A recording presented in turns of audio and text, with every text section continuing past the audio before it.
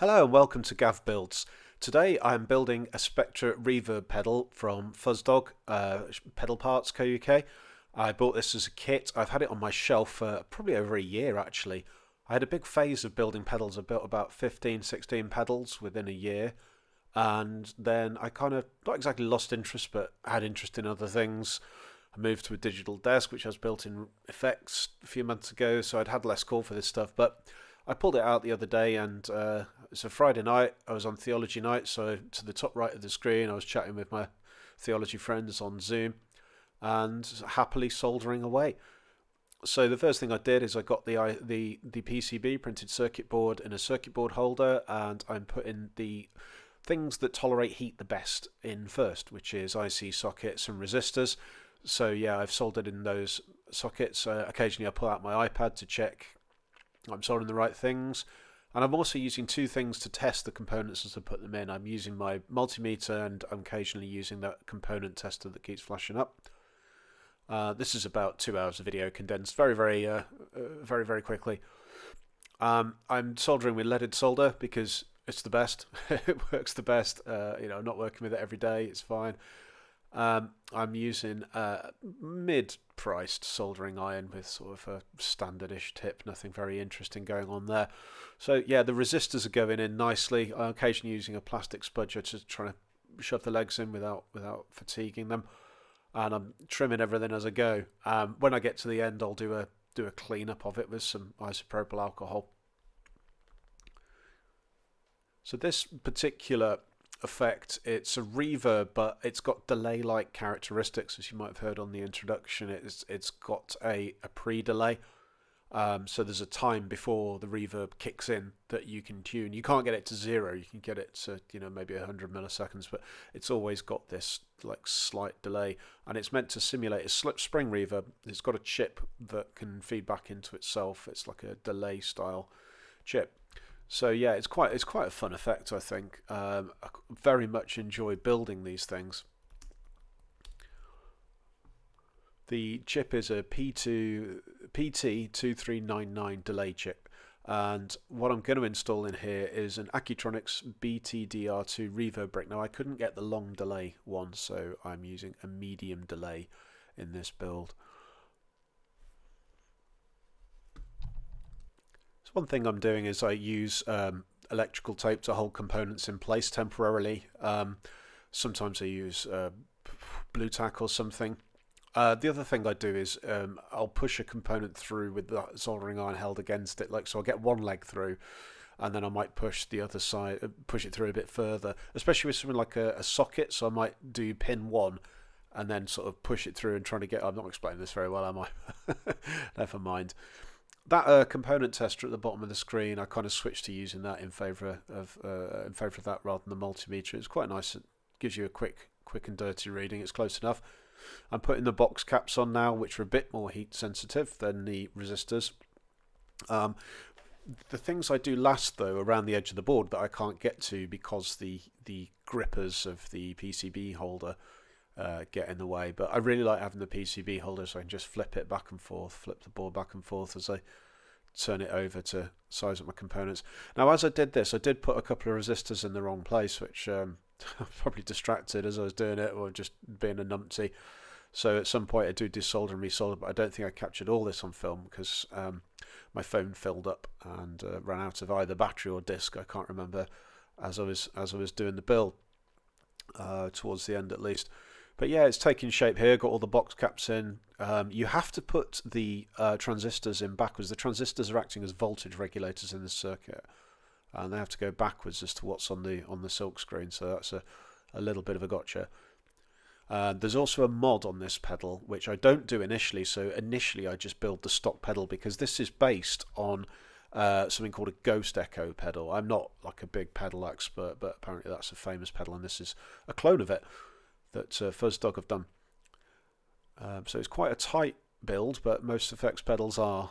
Uh, it's got three pots very close to one another. See, at this point, I've had to take it out of the PCB holder. And this is the point I ran out of juice on my camera. Right, so that horrible noise is a test tone. If I jack into it with my oscilloscope, Uh. There we go. So there it is on the scope. If I turn the reverb on,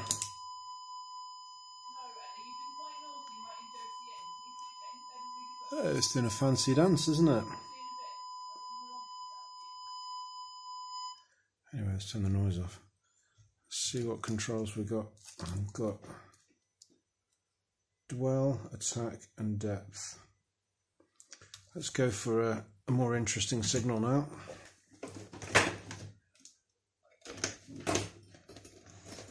Let's see.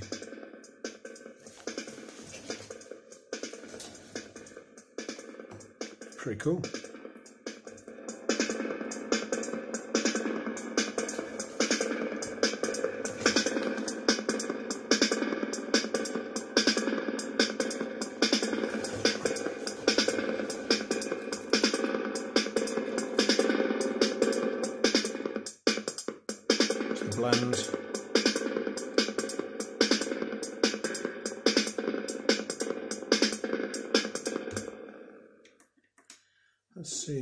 It seems that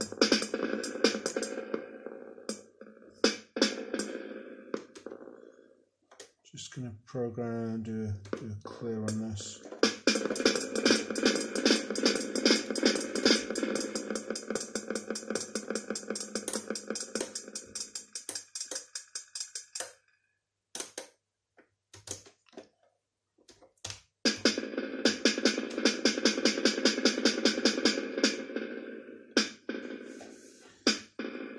Okay, so the attack.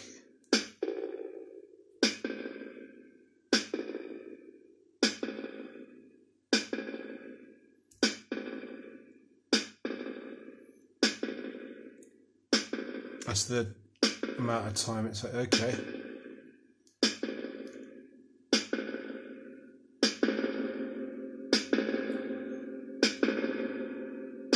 It's pretty berserk.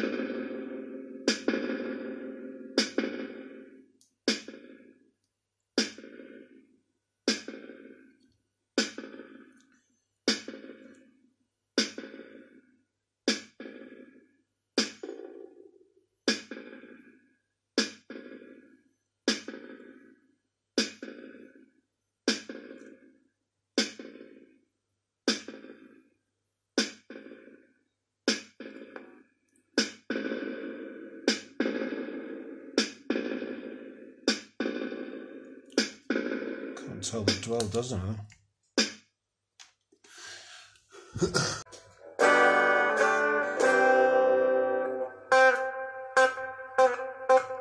so if I pluck a short note, here there's a delay before the reverb comes in.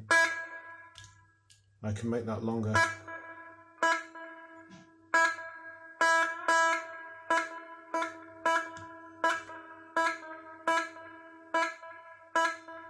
That's quite long.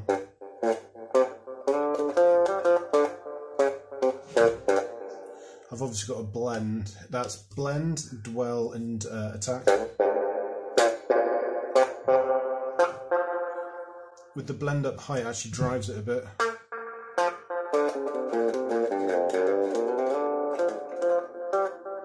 So dry, wet.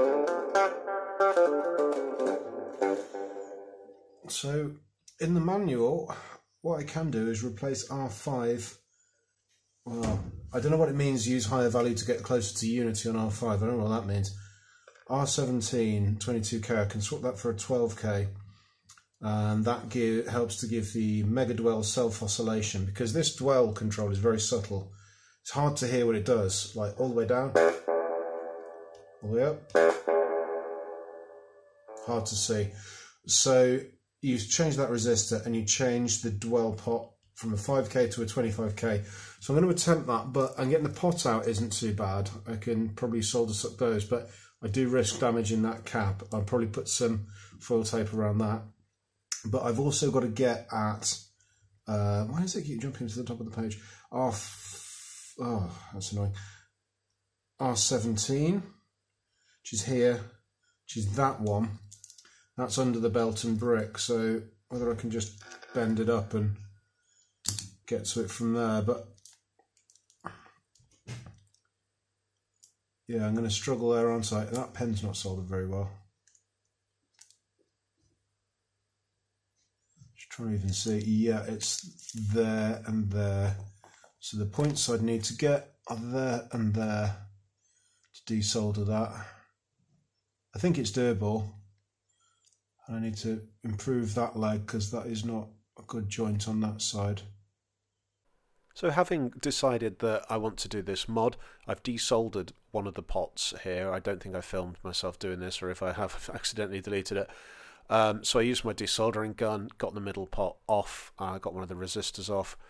Uh, I'm now trying the new value. I had to order it. Uh, I think I ordered it off eBay, and it took a couple of days to come. You can see it's got a split shaft instead of having the the round shafts. Um, and now I'm putting the drill points on the case because I need to drill the case so I can get the components through. So doing lots of lots of little jobs, and there, yep, soldering on those that new potentiometer, which is a higher value, which means it's got more the, the, the dwell control has a lot more play. Uh, it's 25k or 20k rather than 5. It's certainly a lot more. then I'm cleaning it up with isopropyl. You can see the strip of tape there. That's Kapton tape, which is doesn't transmit electricity, and that's between the backs of the pots and the board. It's because there's so little clearance in the board, I couldn't fit like the plastic bases to the potentiometers, so that's just there to prevent it grounding out. So here I connect up uh, and obviously I've got it back to front. I realised this time when I first built it, I had that back to front. It was late on a Friday night. I thought I'd built it badly. I just went to bed in a huff. Uh, but yes, I'd had my tester board back to front. That little tester board's great because you can just chuck a few wires in, and uh, Fuzzdogs sell those as well. I'm not sponsored; it's just that's the company I use. I use Jed's Peds as well. I, am not fussy. I buy they're both great companies, you know. I have a preference, but yeah, that's where I got that tester board from. It's, it's absolutely invaluable for testing these things.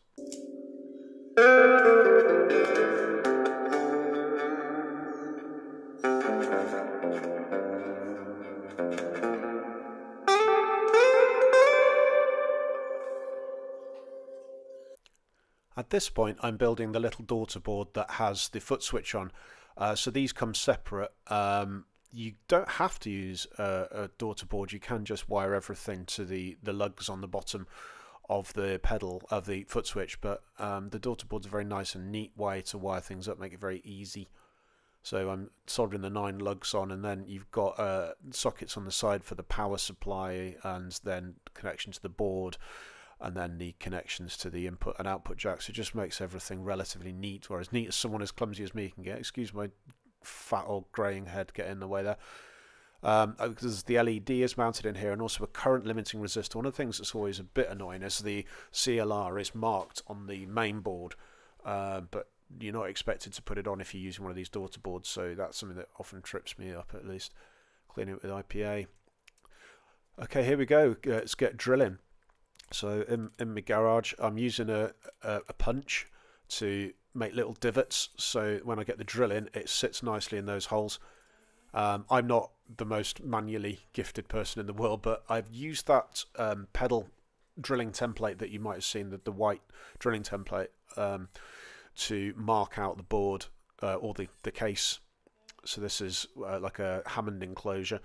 Uh, it's made of metal, and yeah, I had a broken drill bit there, that's why it wasn't going through earlier, so I changed it. And I'm going from the thin drill bits going up gradually uh, going thicker and thicker. I mean, I could probably take bigger jumps than I have here. I've been quite conservative, and in the end, I'll get a proper hole cutter. cutter speak properly, Gavin, put your teeth in, and that will be uh, cutting holes that are big enough. I've got some of the components out with me, which I'm test going to use to test and shove them through, make sure they go through. Um, I probably should have worn my my mask um, to protect my breathing. I, I, am an asthmatic. You might be able to hear it in my voice. Uh, so I usually wear like a dust mask thing, like a proper one, like a ventilator, not, not a daft things, face nappies they made us wear in COVID that did nothing. Um, but yeah, putting this all together now, I'm testing it with the components, uh, turn it sideways in the vise. I am not very good at things like this, but I'm getting better the more of it I do. So again, hitting it with the hole punch and making those making those holes. Um, you can buy these things pre-drilled, but you know it's nice to have a hobby in it. you can you can just go to the shop and buy a pedal, can't you? But um, See, I hadn't got that tight enough in the vise there. This is how quick I actually move. This isn't sped up. Um, so yeah, putting the, the power and uh, the output jacks or the input jack actually that's yeah that's the right hand side of the pedal as will be. There's my hole cutter. You see it goes in in steps. It's like a stepped hole cutter. Boom, boom, boom. Yeah, it's quite satisfying doing this. I like doing a bit of drilling. I'm probably doing it completely unsafely. By the way, never copy anything I do. I'm complete rank amateur. So here I go uh, removing the test board I just get those little screw threads out. Um, that's been very helpful, but now I'm going to put it in the main enclosure. So you can see it's still got the wires in it. Um, the Belton brick's stick, sitting a bit proud of the board really. It's um, To have to tamp it down a bit because when I've lifted it to do the mod to replace the resistor underneath it, it's sort of bent the legs out a bit and they're hard to bend back because they, they'll just spring back now. I'm now adjusting that LED to so that it sits flush. Uh, I've just tacked it on originally. I hadn't cut the legs until it's it's really sitting flush with the foot switch going through with all the appropriate plastic spacer and that. And now I'm soldering the wires onto the uh, input and output jacks. And I'm just going to solder it all to the little daughter board and then uh, it's just cutting the wires of the main board and linking it all up. Um, when I've done this in the past, I've always got hopelessly confused, but um, experience has, has helped a lot there. Uh, the the documentation from FuzzDog is really quite good though, so generally um, it's it's always been my fault when I've gotten confused. Uh, I did this about five in the morning. I couldn't sleep this morning, so this is what I did. It took me just over a week to build. I started it a week last Friday. It's now Monday. Uh, woke up super early, thought I might as well do the video and stuff. But, um, filmed it all as I went. I found out my camera does 4K, um, which just means it chews through the disc on my phone. That's all I've got to work with is my phone, and my iPad. But, um, chuck it on the Mac and edit it. Right, so there's the power input. Um, that's one that's a bit prickly because you can assemble it all outside the box, but um, the power input you've got to push in from the outside. So what I've often done is I've soldered the wires to the power input and then had to desolder them um, because you can only mount it from the outside, whereas the jacks you can push through from the inside. It's just due to the way it is. The flanges on the outside with the uh, the the power adapter. You can mount batteries in these things, but I don't think there would have been room in here. Really, it was just about feasible, but no, I didn't go for that. I think I'd have had to scrap the daughter board for a little bit extra space then. Wires are more compressible, but I'm trying to get the wires as short as they can be, the wire runs, without them being like impractical to work with. This is stranded wire, uh, it's it's what the hookup wire they supplied, but I've got like bags and bags of this stuff now because I never use all of it, so I should stop ordering the wire. If I, yeah, I try to heat the um, the legs there on the Belton brick briefly with the soldering iron just to see if I bend it in a bit more. Now I'm sort of getting the getting the pots in place and just doing it finger tight and tightening it with completely the wrong tool. but because they got the washers in there, I didn't scratch up my terrible paint job too badly. So I'm trimming the wire ends to get it into the daughter board. Now I'm going to start mounting everything. Trying to get them through. This is a bit fiddly. So sometimes putting a bit of solder on the wire before you chuck it through, um, even though you're adding mass to it, it keeps it all nicely together so the strands don't like potentially cause shorts. But I didn't do that here. I, I managed to like twist it around and get it all through. But if a, if a hole is really tight, that's a technique I do use. So this is all coming together. That's the correct tool. that actual wrench. That's a good enough tool. You see that plastic washer. Will I remember to thread it through the foot switch? Yes, I will. Spoiler. So yeah, it's all coming together. It's starting to look like a pedal now. And through it goes. And that is pretty much done. So now I put all, put all the washers on, put all the put all the nuts and bolts and everything, and now I'm going to test it and I'm going to be ready for a horrific disappointment. It didn't work. So I tested looking at my uh, looking at my hookup. Now I've knocked the camera there. Sorry, I put it on the left side of my desk instead of the right, the camera arm, so I wouldn't knock it. But I'm still knocking it, and I'm spending ages trying to figure out what I've done wrong. I'll give you a clue. The battery's flat. It's only had six and a half volts in it. I, I think I must have left it plugged into the tester board. I think the tester board's not as passive as I thought. There you go. That'll learn me. So, yeah, pull out a good old Boss 9 volt power supply and chuck it in there. Power it on, get the screws in, buff, buff, buff. And then we'll be in a position to actually test this thing. So the first thing I'm going to pull out is my TR, uh, my RD6 drum machine. But first, got to choose some nice knobs. Now, these gold ones are ace, but they'll only go on the split shaft. So I had to then go and choose a couple of others. So I like the look of these white ones, but that wouldn't go on the split shaft. So it looks quite nice actually. It's got nice symmetry. The gold one in the middle for the dwell, which is the the oddball control here that uh, does a bit of feedback and sort of self oscillation. So that's quite fun. Getting the RD6 in.